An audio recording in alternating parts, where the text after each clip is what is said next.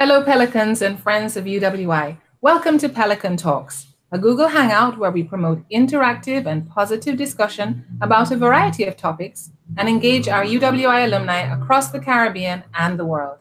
It's my pleasure to have as our special guest on Pelican Talks today Her Excellency Ambassador Dr. June Soomer, a distinguished UWI alumna. Welcome, welcome, welcome. Very much. To all our Pelican Talks viewers, Her Excellency Dr. June Soomer is a two-time graduate of the UWI, receiving her Bachelor of Arts honors degree in 1987 and then her PhD in history from the UWI in 1994. She was the first female to graduate with a doctorate in history from the UWI Cave Hill campus. She's also the Secretary General of the Association of Caribbean States, ACS, and is again the first woman appointed to this position. Yet again, another first. She is a historian and has worked in the diplomatic, financial, and education sectors regionally and internationally. And we are truly delighted that you're here sharing with us today, Your Excellency. Thank you again for coming. Thank you for inviting me. you are indeed a fascinating person. So let's begin with your Caribbean heritage. Where were you born? Are you from a large family? How do they view your success, etc.? Well, thank you very much for that introduction. My family is extensive. I have four brothers and four sisters. I am the seventh of nine children. Okay. my brothers and sisters. And they have my main support system. They are a tremendous family. My Caribbean connection. I am born in St. Lucia, yes, but I have lived in Barbados, in Trinidad, in St. Kitts and Nevis. With regard to my family, I have one sister married to a Jamaican, one married to a Barbadian, one married to a, a Puerto Rican UV, um, USV Islander. I have a nephew married to a Belizean, one married to a Guyanese Bajan, one with a Bajan, one married to a St. Lucian, one married to a Haitian. My nieces and nephews are born throughout the region. I am truly a Caribbean person. CARICOM resides in my house. when we have a family reunion, which usually involves about 70 people every three years, mm-hmm. then we have a huge CARICOM bash. So Absolutely. That's amazing. Family. That's absolutely amazing. You really have to chart the history of everybody. yes. And I'm sure they're very proud of you. Well, they would have been proud of me no matter what I had done. That's wonderful. They're very supportive, and we have the family that will encourage and help you financially and otherwise. I mean, the emotional support is tremendous also in my family. My big brothers are, have always been my father figures. And my younger brother, who thinks that he is my big brother, behaves that way also. okay, that's very interesting. I know you have a brother who shares your diplomatic, I believe, success. Can you share his story as well a little bit with us? Yes, my brother uh, Rodinel Soomer is the CEO of the CARICOM Development Fund. It's the first time that a brother and sister are heading regional organizations. So I am extremely proud of my little brother. He's a wonderful economist and a great person all around. So we are we have a family that um, came from a, a very underprivileged background. My mother, uh, with nine children, my mother was a single parent. And so her emphasis was always on education and doing better. She never saw um, being poor, although I would have to say that most people in my neighborhood were poor. But um, she didn't see poverty as a distraction. So she encouraged schools, schooling, um, proper dress, etiquette, etc. So she raised us properly Wonderful. That's a true Car- in true Caribbean style, I should say. I'm telling you, she was a true Caribbean mother. That's great. Are any of your brothers and sisters also UWI graduates? Yes, my brother Rod is also a UWI graduate. and my nieces and nephews. I have a, a niece who lives in Jamaica, um, who is a, a, medical doctor, UWI graduate. So Wonderful. we have UWI graduates throughout. Amazing connections. And you studied at the UWI in Cave Hill only, or? In Cave Hill, but I did get the opportunity to, um, when I was doing postgraduate work, to work at the time at ISER in Trinidad and ISER in Jamaica. So I did a, a, stint in Jamaica briefly. It was part of, because I wrote on regional integration, I actually wrote on um, regional public service. And I, so I looked at the, um, the federal system and the civil service there. And so I had to travel throughout the region conducting interviews with former civil servants. Mm. Most of the politicians were gone at that time, but I did manage to get a lot of, of the, um, the public servants. Okay. All right. Very good. So, what are the best UWI memories that you have? For me, my best UWI memory is not about schooling. It's really about the social activities. I found UWI to be a very warm place where people from all of the islands could meet, have that common ground.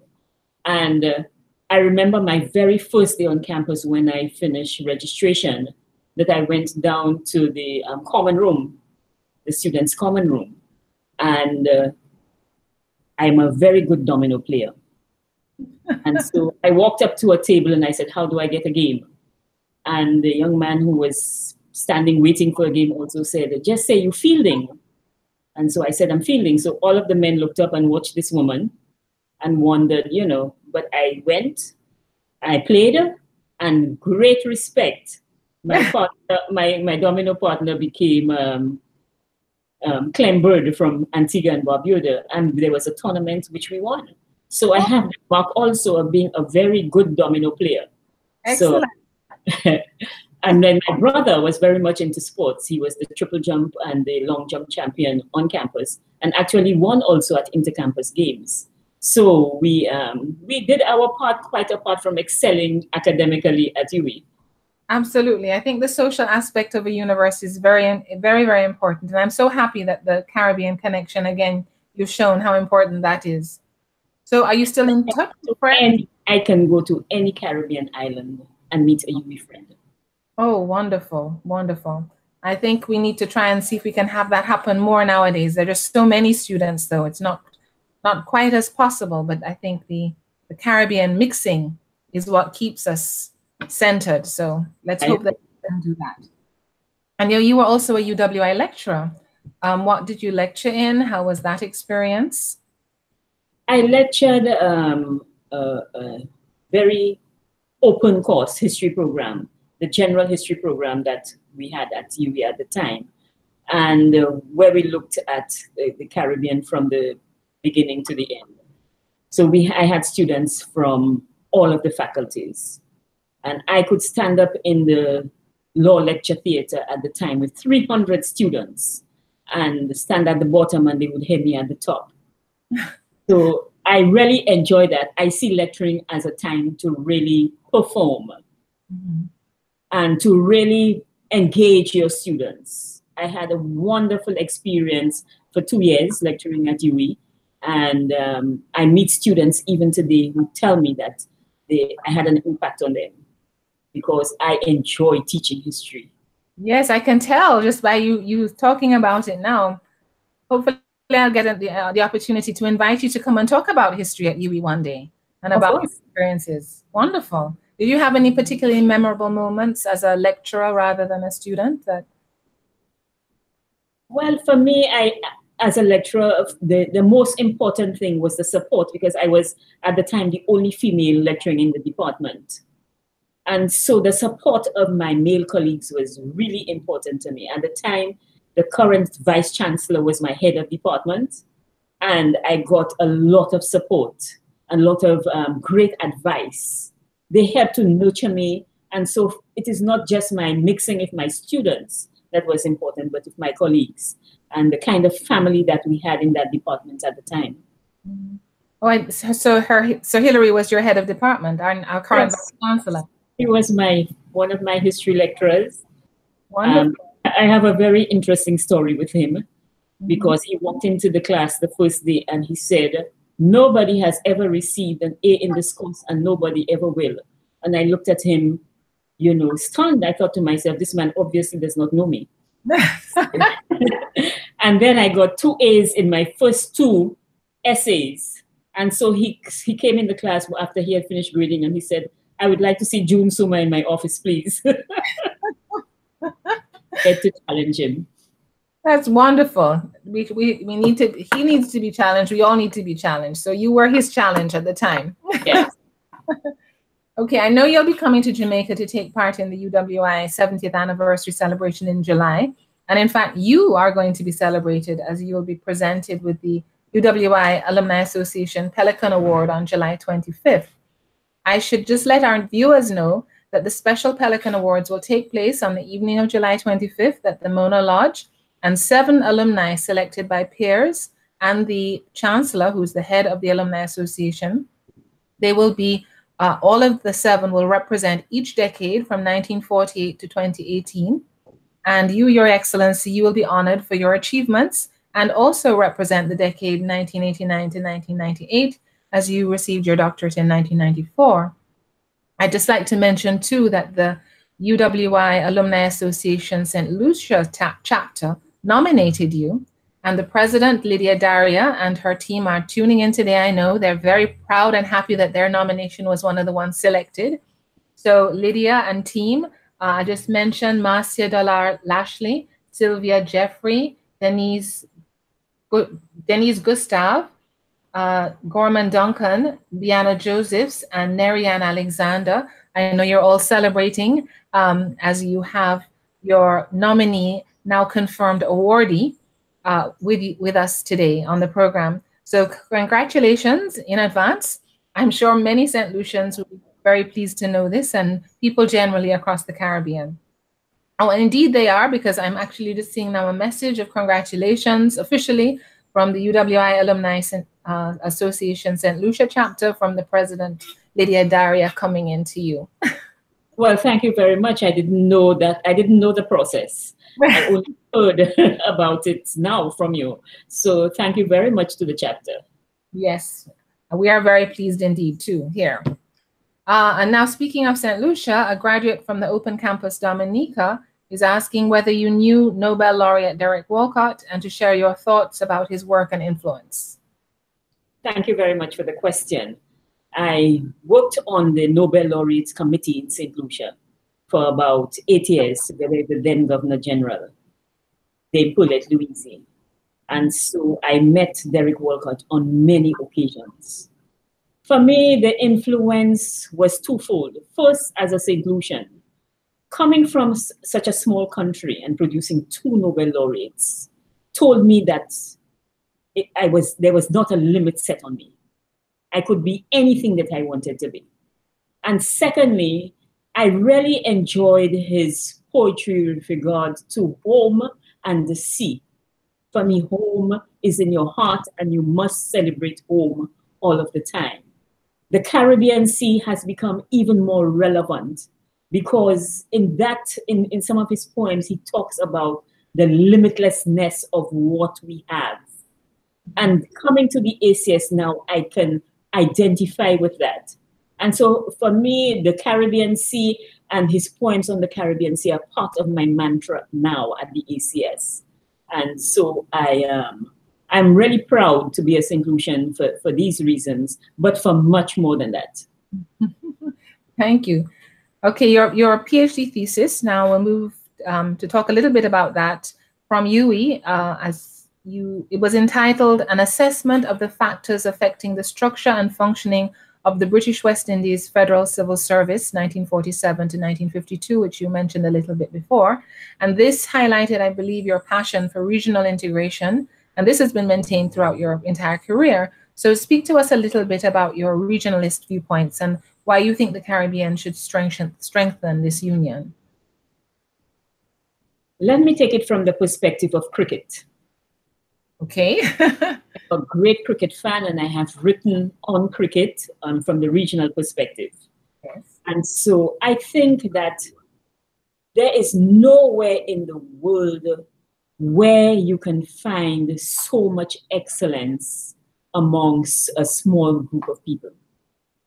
And for me, what is very important is that we support each other in that pursuit of excellence. It is not about what we don't have. I think regional integration tells us what we have and the limitlessness of what we have. I'm starting from cricket because it is a game that has had its ups and downs, just like the regional integration movement. But you cannot stop supporting West Indies cricket. Who else is going to support young black men? Sorry to put it like this, but that is what it is. Anywhere else in the world, not Australia, not England, not the United States. We have to support each other for us to produce that excellence. And so for me, the regional integration movement is like that. We have to continue to support each other. There is not another country in the world that will support us the way we can support each other. So regional integration helps us to see ourselves as one set of people. We are not different. Our experiences are the same historically. Our experiences are the same now, whether we want to admit it or not, no matter how we align ourselves. And our experiences will be the same in the future for me, regional integration is not about what one country can get over another country. We, we already don't have enough for everybody, but pooling of resources can help. A long time ago, we had something in St. Lucia called Koudmen. Koudmen was where, and I'm sure that you have it in Jamaica in some form or the other, where communities would get together, let's say on a Saturday, and would help you to build your house they would help you to build the, your house, even if you did not have one, they didn't have one themselves. And then, and then you would cook and so on for the people who were helping you to build your house and put it together. And next weekend we would build a house for somebody else. Nobody, no, it didn't matter that somebody did not have a house at the time. We knew and we trusted that we would help each other. And that is what regional integration means to me. It's in the heart of the people. And I think that if we look at my family alone, where you see regional integration thriving, you will understand that regional integration is not about political solutions only. Regional integration is about the people, and it's time that we start involving the people more. Yes, but very profound and very true. I think, it, as you say, it does reside with the people, and the pooling of resources and self-reliance and and and focusing on the Caribbean as one um, I hope many people heard your message this morning and will take it to heart. I know I certainly believe that and um, will help spread spread the word. um, a graduate of our Cave Hill campus in Barbados wants to know if you face challenges professionally because of your gender. Oh yes, a lot of challenges. I have to tell you that um, at every step, even as a postgraduate student, I remember going to um, my first Caribbean Studies Conference with my, with my then supervisor, um, Dr. Neville Duncan, who is a Jamaican. And um, we walked into the conference, and somebody said to me, Oh, we have many activities for the wives. It's there to present. And I got that on more than one occasion going to conferences. And then I, when I became ambassador, well, even before I became ambassador, when I worked at the central bank, no matter how my secretary sent out a, a letter from me, the response would always be, Dear Mr. Soomer. And then um, when I became ambassador, it was it was another you know dilemma. I would always find myself the only female in the room. Oh my goodness! If I didn't find myself the only female in the room, um, sometimes I would be the only black female in the room. Mm. And so it has been a challenge. Um, many people, you walk into the room and they, they see you first before they hear what you say. And, and, and your physical appearance as a woman is always a distraction until you start to, to speak. And let me give you the example of cricket. I, want to, I went to cricket one day with a friend. Mm-hmm. And um, I was speaking to him about what was happening in the game. and somebody behind, a man behind us said, Oh, she really knows what she's talking about. It is as if women are supposed to be vacant in, in, in, in these areas. And, and so it has been, it has not been easy. I think that for me, coming strategically within that decade, I have to carry the burden and, and, and the hopes of women. Burden of the past because many women did not get that opportunity. And sometimes it is, it's even a little difficult for me to say that I was um, I'm the first female secretary general, for example. Many more women um, could have been secretary general because we have competent women. And then I have to, to always be sure that I do my best and do it even better because I am I'm, I'm paving the way for more women, more black women to hold these posts. And so it is not an easy thing. Um, I, I mean, confidentially, um, some of the some of the the things I have heard, you know, especially from men, and the condescending way that it, it has happened over the years, not only in this current job, because in this current job, once somebody said, well, I cannot understand why Carrie CARICOM chose a black woman to send to us. And you know, this these are the kinds of things that you you get. And so you must always try to be your best and better than your best, better than men, always. And so the fact that I am here tells me or sends a very strong message to me and to women that we have the chance and we must never be afraid with the chances that we are given. Absolutely. Here, here. And I'm, you're doing an excellent job paving the way. And Thank we are all very proud of you. So continue to, to do what you're doing. Um, my daughters are not here at the moment, but I'm going to replay this so that they can hear. um, but the, it must have been extremely difficult for you on occasion to, to have, well, for basically for your entire life to, to keep proving that women are, are just as capable. And I know many other women not only in the Caribbean but the world, um, you know, would take this message because hope we're we're actually broadcasting globally, so maybe some alumni in other places will will be affected by by what you have said as well. I'm sure they will be. Um, now I have a question from a graduate of our open campus in St. Lucia, who says you must you they know you travel a lot. Is it mostly in the Caribbean? Where else have you been that sticks out in your mind? I have traveled globally. I, um, for me, I think one of the my best experiences was when I represented the St. Lucian government at the Commonwealth Heads of Government in Perth. At the time, we were going through elections and nobody could go.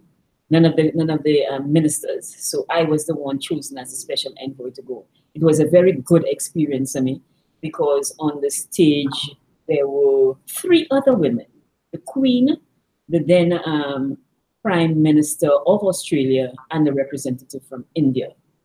So, and everybody else in the Commonwealth was male. Wonderful. so it, it was a very good experience for me. But I have traveled widely, and um, uh, I just recently came from Serbia, and Serbia was a very interesting experience.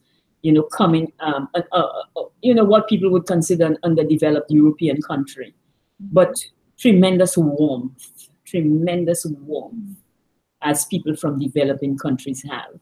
And it, it tells me that we are not so dissimilar in the world. Absolutely. I remember going to Japan and the peace of Japan and the calm and the quiet of Japan, the serenity, the great gardens, and so on. So I have traveled all over, and um, but I have to tell you that for me, my best experience ever was going to South Africa. Ah. Going, to, going to Africa for me and going to Haiti within the region, my heart beats faster, beats differently. You can feel the difference when they when you say that Haiti is the soul of the Caribbean. You can feel it when you land in Haiti, and the same for me when I went to the continent for the first time. And I look forward to many, many more trips like that where you can feel a difference in your being. Wow, it's amazing. Important. Yes, absolutely. Well, now those those two are now on my bucket list. I've been to Haiti and I, I understand. I was only there for two days, but I do understand what you're saying. In that brief time, the spirit of the people just bowled me over. Amazing, amazing. Um, the same graduate is asking, she has to travel for her business and she wonders how you organize and manage and, and balance the rest of your life. Practical hints. I do it very, very, in a very organized manner. I am very organized. Sometimes I have back to back trips. I have three suitcases packed. I land one night and leave the next morning. I am ready and I do not stress. Okay. Whatever I forget at home can remain at home. I am very simple when it comes to these things. I have a, I have set things that I, I take with me and they always go with me. And so I, I really and truly do not stress about it. I am one of these people, wherever I am is where I am supposed to be. So if I am on an airport and the flight is delayed for hours and hours, I'm very calm. The same thing when I am checking in, you know, I think that you have to be polite. You always have to be respectful to people because I always think that um, people who are dealing with so many customers at the same time must be under pressure. So mm. I take the opportunity to show respect. I take the opportunity to not give trouble. You know, no matter who I am and what position I am in, I am never going to tell you, don't you know who I am? I am, that's my work. That's not who I am. And so I take it in stride. I will not always be a secretary general. I will not always be an ambassador. I believe that you have to be ordinary in whatever you do. You do exceptional things in your work, but as a person, you take it in stride. Wonderful advice. And I hope hopefully she will get as organized as you will you are. and I the, the part about whatever is not is left at home is very key, definitely for all of us who travel. Just don't stress and, and make make make it happen. Um, I do have another question from a graduate from our open campus, St. Kitts and Nevis. Um, they asked, as you travel, to what extent do you try to inform and educate persons about St. Lucia and the Caribbean? Thank you very much for that question from the Open Campus. I am also the chair of the Council of the Open Campus, first female also to do that. Absolutely. And, and I take every opportunity to, to educate, even as Secretary General no matter where I go, and you can see some of the some of that on on on the internet. I take the opportunity to speak to young people about the Caribbean, about my work, about St. Lucia. But I, I, I try, because I'm such a regionalist, not to focus only on St. Lucia. I try to give a perspective on our region, and that is very important to me. And even when I went to Serbia, I spoke to the Serbian diplomatic school on the Caribbean and what it has to offer. So I take the opportunities. One of the things that my staff know, wherever I go to in the world, I also want an engagement of young people so I can speak to them on the Caribbean. I think that lecturing was the, my best job. And so I take that opportunity to, to continue to do that. Excellent. Um, and now you mentioned your other UWI connection, which is the being chair of our Open Campus Council. And in this role, you're also charged to formally guide the strategic, financial, and, and administrative affairs of the Open Campus within the university's new strategic direction. Um, how have you found it so far? I told them after my first meeting it was my easiest job, but it is also a very important job for me because of the fact that I think that the open campus has an opportunity to not just remain in the Caribbean, not keep you in the Caribbean only, but to help you we get that global strategic face. And I think that much more can be done. We have done an excellent job for the last 10 years. Remember, we are celebrating our 10th anniversary. And I think the next 20 years will really um, mark us as the, the place in the world where we especially reach out to our diaspora. I was in Nicaragua a, a few months ago, and in Nicaragua, there's a place called Bluefields. It will be the name will be familiar for, for you. Yes, There's also a place in Jamaica called Bluefields. That's right. And the people in Bluefields, Nicaragua, speak English because they are Caribbean people. And they are so looking forward to engaging with Caribbean people, especially at the level of the university. So I look forward to us meeting all pockets of Caribbean people, whether it's in Panama or Colombia or Nicaragua, as I said, throughout the region. We are everywhere and we have made a contribution everywhere, and we need to share that in the university. Absolutely. The Open Campus really does serve the tertiary needs of, of the Caribbean nationals, as you said, and has the global aspect. Um, because I be do believe, and, and the university has recognized that that is where, that is the direction the world is taking in terms of education and giving more access. So you are really leading the charge at the forefront and we are very pleased that you're at the helm of the Open Campus. So thanks again for that. Um, what was it like when you were first appointed as ambassador for your country and had to present your credentials and you know the, the kind of first experience? How, how was that? It was interesting for me because you, realize in most of my jobs I didn't operate at the level of an it's very different being an ambassador. Than being a university lecturer or even being at the central bank where we had that kind of access. But what I realized as ambassador is that you got more access, especially people um, who, who create, design policy got a chance to listen to you. And for me, that was very important. I was ambassador to CARICOM and OECS, and I was also responsible for diaspora affairs. So I was responsible at one level, the CARICOM level, which is a bigger level. Then uh, the, the OECS, where we were trying to put in place um, the OECS Economic Union. That was so important because we had to strengthen the center of CARICOM. And then I was also responsible for diaspora solutions all over the world and I got an opportunity and had a very extensive network globally. We Caribbean people are everywhere. And so I got that opportunity to speak to them and to bring home to them. So being an ambassador was very important to me. I still see myself in many ways an ambassador for the region, even if it's a greater region. I am the CARICOM representative here at the ACS. And so I try to promote um, Caribbean things and to, to, to speak about our Caribbeanness. Latin America has a Caribbean coast that it's just starting to embrace. And so I think it's my duty as an ambassador from CARICOM, first of all, to ensure that people understand our region, they respect our region, and they work with us. That is what it's about partnerships to ensure that we develop. Absolutely. Wonderful.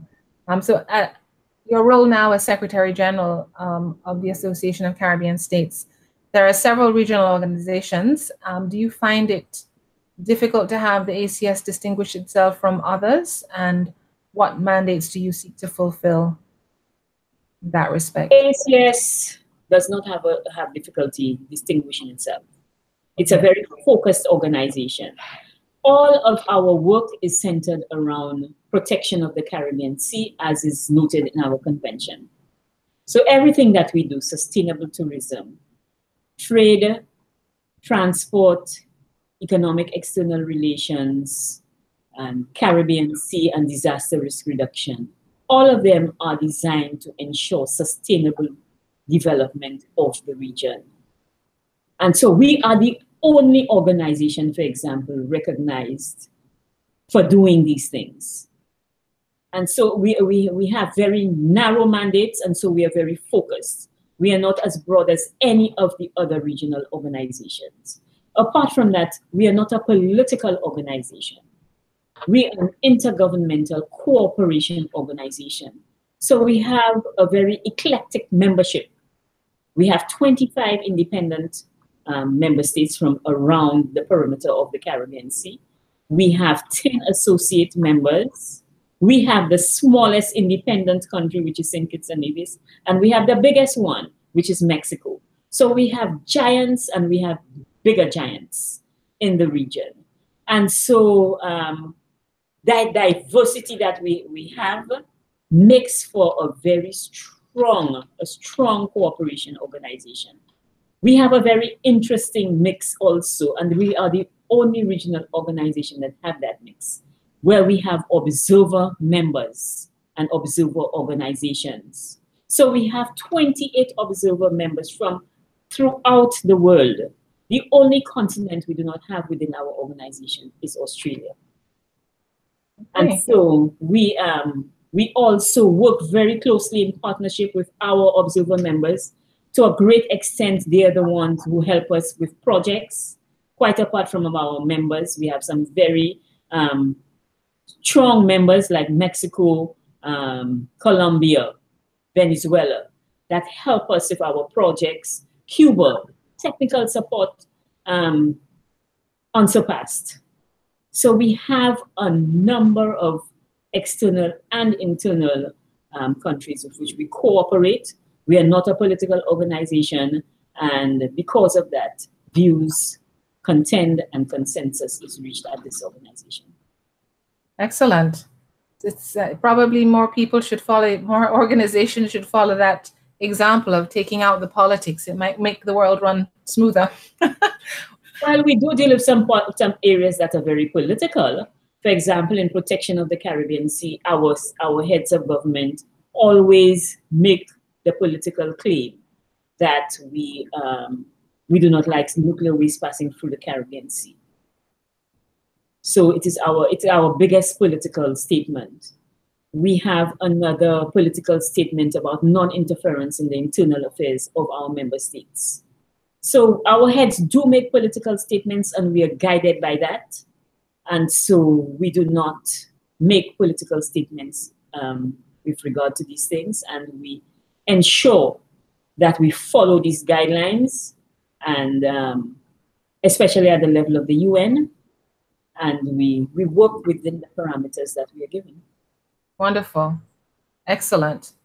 Um, a graduate from the Bahamas is asking, is the ACS involved in trying to resolve issues regarding intra-regional transportation in any way? And how is yes, it going? We yes, we are, and it's very difficult. Our membership has been working with regard to um, airlinks between the Caribbean and Latin America. So you will see, um, for example, Copa in the region, you'll see Avianca in the region, but it remains difficult because to a large extent, governments do not control transport in the region. So what we really do at the ACS is, is transport and trade facilitation. So we help, for example, with ensuring capacity building of port workers so they understand what is happening there. We also help at the level of technology. So for example, we have a platform that we have created with the help of our, our partners where you can, where the governments can go in and look at I think we have mapped 64 ports. They can go in and look at the ships, cargo ships, passenger ships, etc., that go in and out. And the last phase is to put in their schedules. So we are completing that project. So we do that also.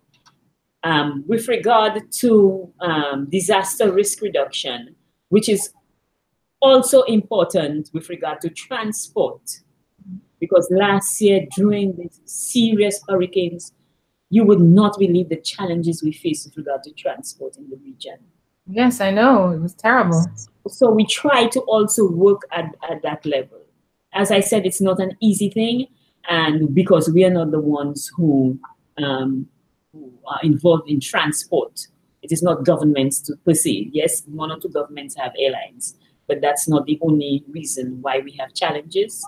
And um, we are hoping that we can engage more with the uh, people who own airlines and the governments who own airlines to be able to talk about this because transportation makes everything more difficult in the region. We cannot meet each other because to move from Trinidad to St. Lucia is more expensive than to move from, from Trinidad to, to New York. So we have to look at all of these things, our people cannot meet. Earlier, we spoke about the fact that our people must meet and exchange. We don't meet enough for us to understand each other enough, and transportation is very important to that. With regard to the Bahamas, very difficult to get to the Bahamas except through Miami. I would like the Bahamas to, to take a more active role in the ACS. It's one of our members that we need to engage with more. You can imagine for a Secretary General of 25 member states, 10 associate member states, it's not an easy task to go to all of my membership.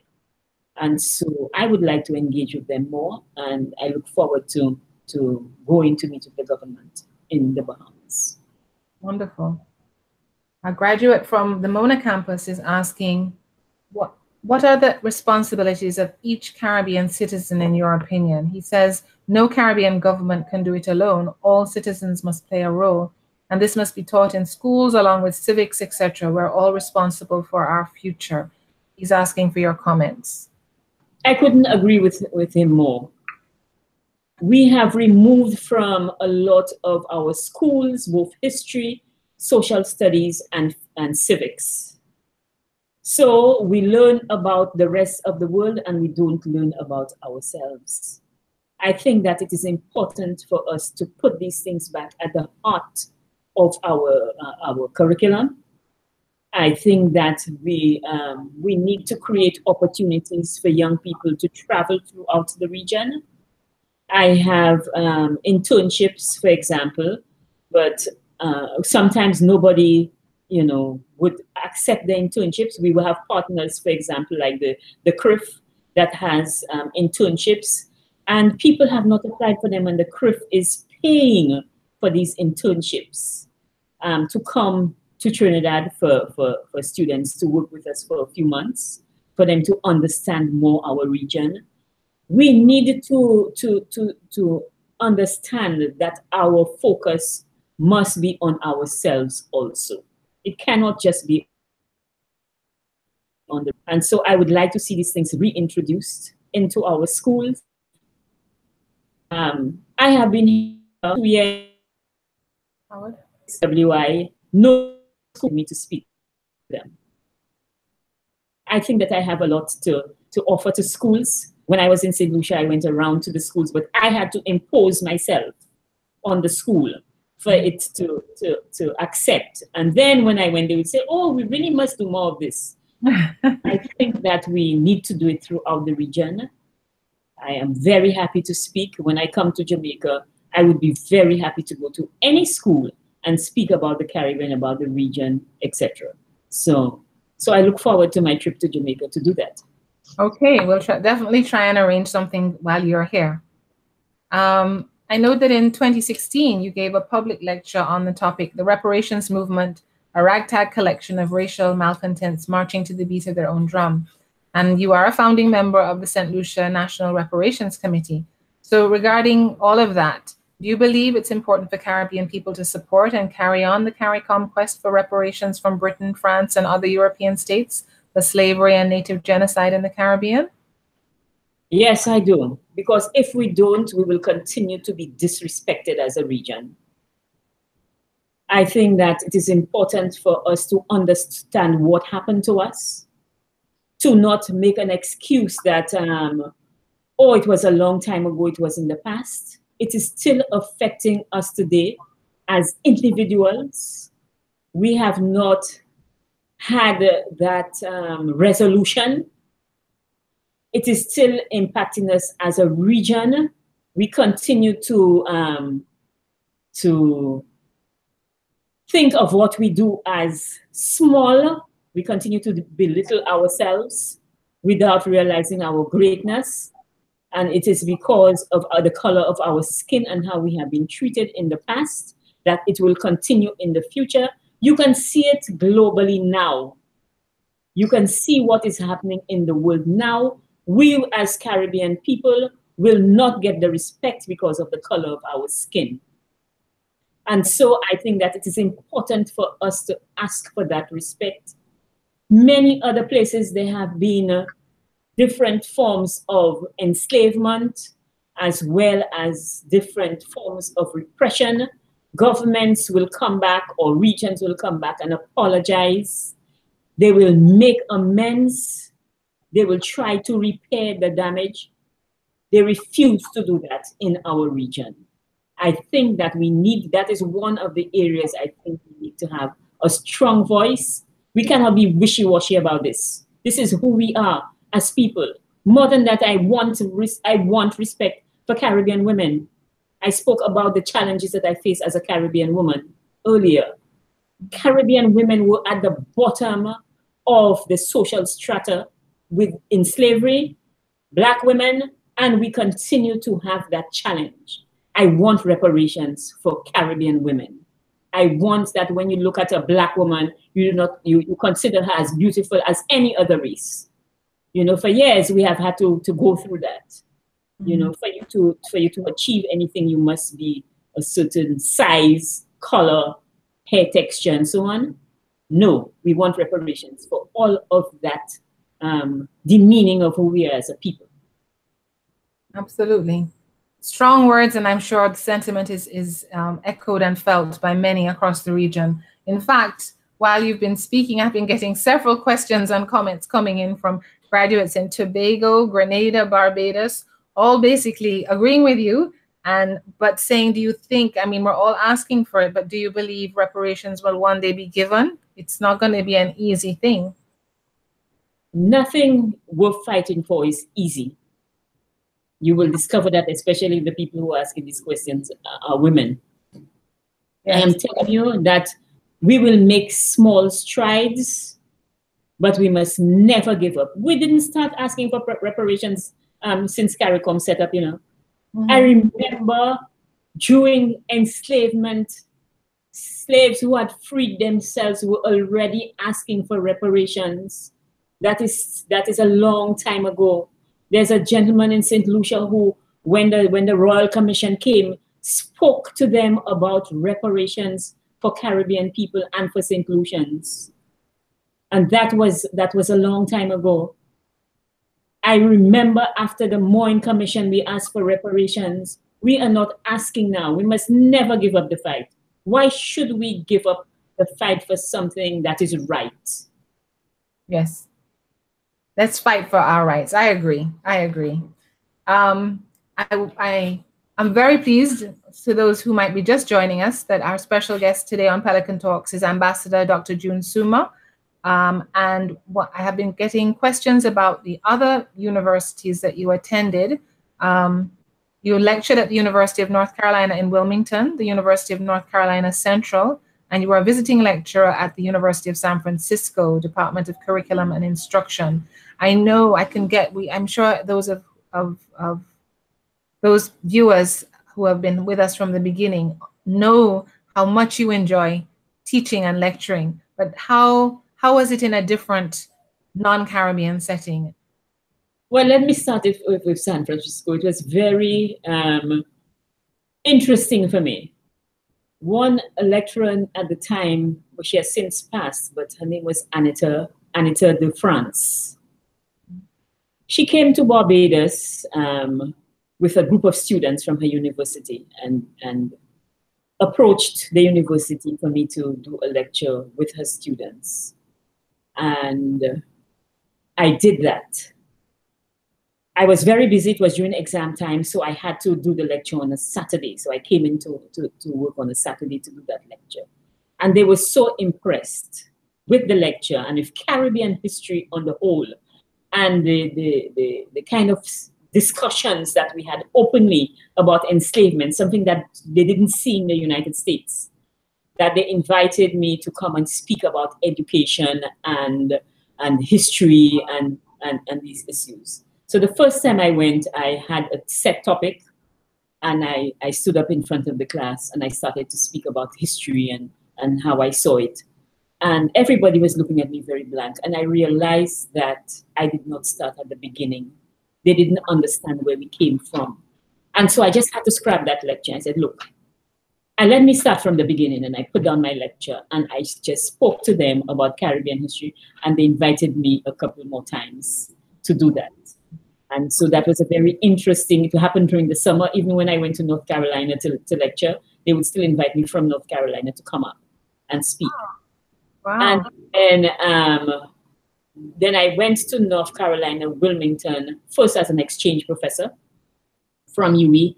Um, history department, and that was very interesting. Um, my history department was a few floors, not like my small history department at Cave Hill. a few floors. And but the most interesting thing for me about that experience was that in that entire um, three and four floor building, there were three black people in the building. Another history professor, myself, and the janitor. Wow. Came to speak and I and I spoke about and, my lectures were on Caribbean history yes. from the beginning to the you know to the 1960s. So that was very interesting for me. But the students really embraced it.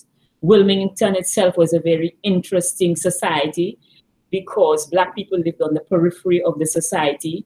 So when I went to places, it was very strange to see a Black woman in certain places, stores and so on, certain supermarkets.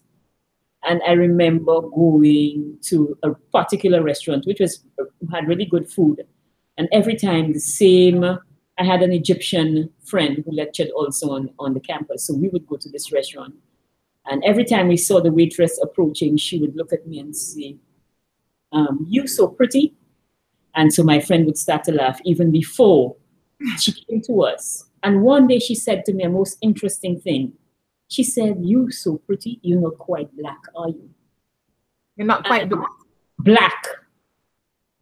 And wow. so that that that that shaped, you know, my perception of the of the of Wilmington. And then I went to do history and realized that there was at one point a very prominent black middle class. They owned newspapers, banks, etc. And one day the Ku Klux Klan came in and burnt all the businesses and forced if all the black people to the periphery of the town. And then I moved to North Carolina Central, which was a different experience for me because I lectured at the first Black university in the South, Central. And so um, Durham was, I mean, everybody, including the, the, the provost, the, you know, the, the, the level of the chancellor, etc., were Black people. Julius Chambers, who was in the Supreme Court, was the head of the university. And so it was a very different experience. But one of the things that was even more d- different for me in Durham was the fact that it brought to me the fact that, that Caribbean education and uh, UWI in particular, especially at the level of a first degree, is more than first class. Yes. We'd certainly agree. So, so, so it was a very, it was a there's this kind of small town mentality. I have a wall and you can drive. The global view that I lectured a course on world history between the different histories because although I, I, I lectured Caribbean history, at UWI I also did South African history, um, history, European history, West Africa, Caribbean history, and so on. So I had a perspective of all of the histories that I brought together in a course which I called World History. I also lectured on women, women's history, and I did a course, very unique course, um, U.S. foreign policy in the Caribbean. So, so they were all interesting and unique experiences, and um, I really cherish the time that I spent outside of the Caribbean for me to really appreciate what we have at home. That's right. We, we, we really don't know what we have at home. And based on everything you said this morning, I think we're going to have to have you more than once to Jamaica because you have so much to say and so much to impart. So um, we'll have to do several modules of, of your life experiences and your and your expertise.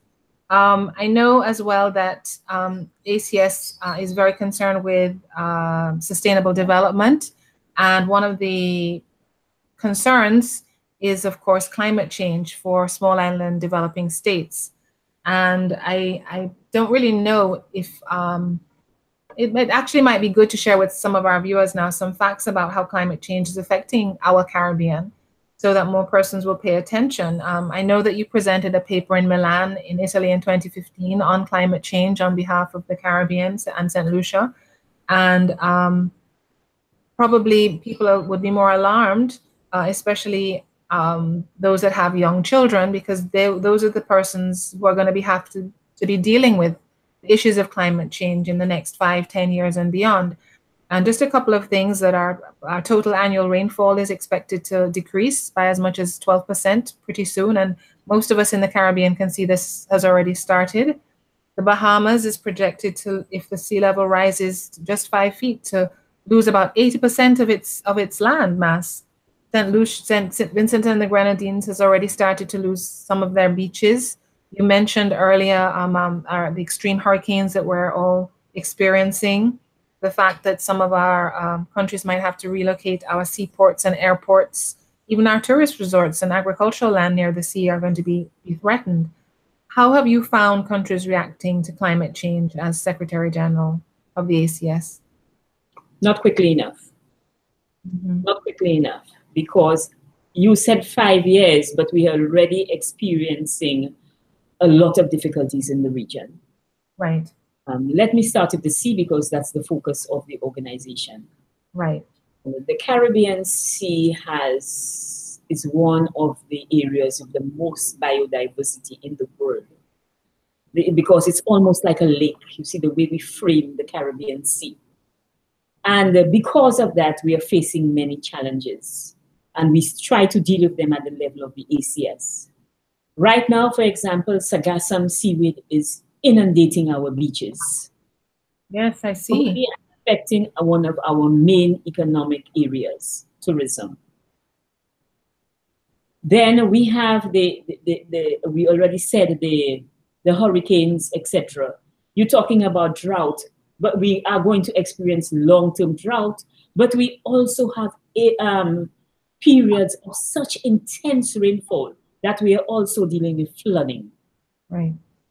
So we have to also look at that. I remember being in St. Lucia one Christmas, we had just a trough that sat over the country for 24 hours and destroyed infrastructure, this destroyed our celebration of Christmas, you know, etc.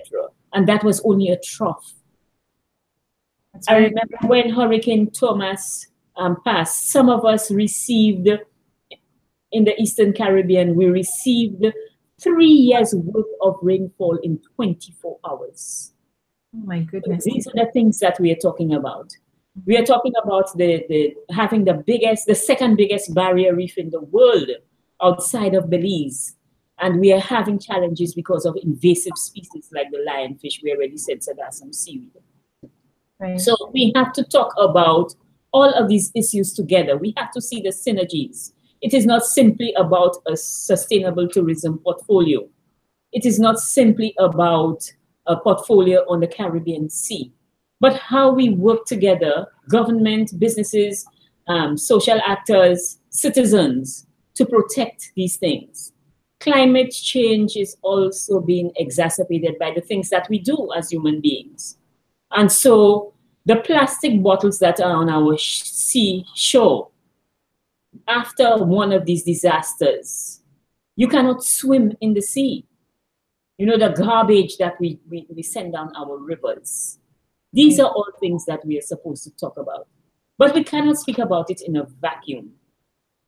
Sustainable tourism is challenged by the fact that in many cases, we are small island developing states.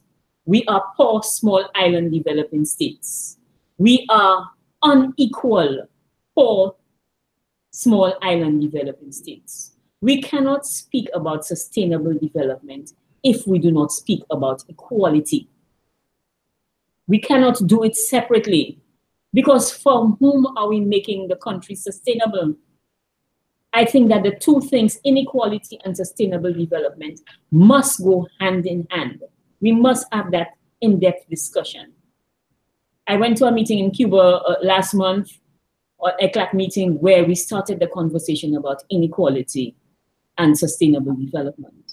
And I made a presentation from where I sit as um, the Secretary General, but more than that, I made the presentation from where I sit as a Black woman from a small developing country in our region.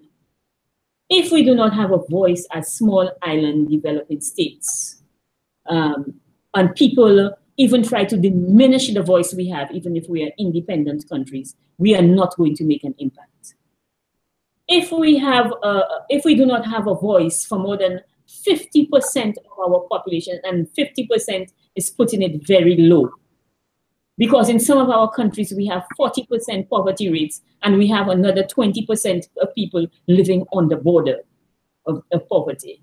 If we do not speak about these things, if we do not speak to the issue of the inequality that um, that enslavement caused, caused, where our people were forced to live on marginal lands on the side of mountains or near rivers and who are now being affected by climate change. It is not because poor people want to live where they live, it's because they do not have a choice. We have to speak about sustainable development in the context of the inequality in our region. And I think that when we have that conversation, I will be much happier. Absolutely. And when you come, I would love you to meet with the Vice Chancellor's UWI-STAT ambassadors who have an action advocacy network um, for climate change and sustainable development. As a youth group, I think it's very important that they have a voice too. So I'll also put that on your calendar if you don't mind, Your Excellency. Thank you. Um, I just want to mention, was we have to wrap up shortly, but just to mention that you have several publications in your name. You've mentioned cricket, your affinity to cricket. You wrote two books that I know of, Cricket and the Politics of Integration, and an area of books. How many? Articles, not books. Oh, articles. Um, yes, by Stoddart and Beckles. Yes, that's right. Yes. Uh, and you've written um, articles too, uh, and uh, the runaway slave women in the Windward Islands, and the manipulation of the production and reproduction of African women in the Caribbean during slavery. All things that I think our viewers would probably go and look at, look out now if they haven't yet read them after hearing you.